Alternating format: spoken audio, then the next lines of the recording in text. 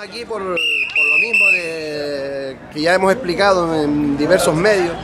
que el, ayuntamiento, eh, por dejadez, no ha, no ha hecho el pliego de condiciones a tiempo y nos ha dejado en un vacío legal en el cual nos encontramos ahora que la empresa que estaba eh, ejerciendo el servicio de mantenimiento eh, se niega a seguir con los dos años de prórroga que les queda y el ayuntamiento al no tener el pliego pues nos deja tirados, estamos en un vacío legal y lo que hace el ayuntamiento en vez de resolver el problema con nosotros eh, lo que hace es eh, fraccionar el contrato en, varias empresas convocando a contratas de diversa índole a hacer nuestros trabajos.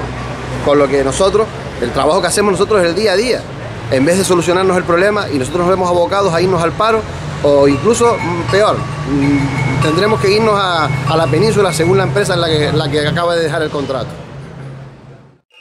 Exigimos que el ilustre alcalde del Ayuntamiento de Santa Cruz tome el partido de una buena vez. Y no condene a nuestros compañeros a la migración o al paro, porque eso es una cochinada,